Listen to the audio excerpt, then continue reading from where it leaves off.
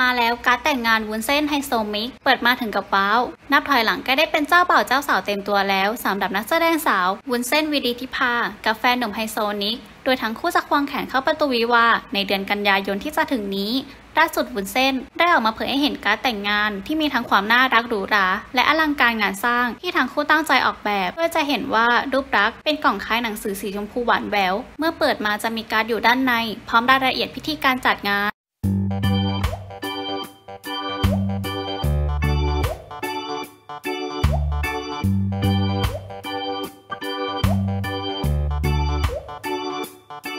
Música